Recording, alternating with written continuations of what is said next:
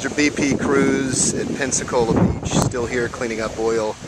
I'm told they've found several tar balls, especially underneath the sand, and that there is still oil coming up, but uh, this is just one of the crews that I saw. There, there's probably about 15 crews up and down the beach in Pensacola, usually away from the tourists. And I'm told they're working three shifts at a time. So the good news is BP is here. The bad news is they're going to be cleaning up like this for a long time.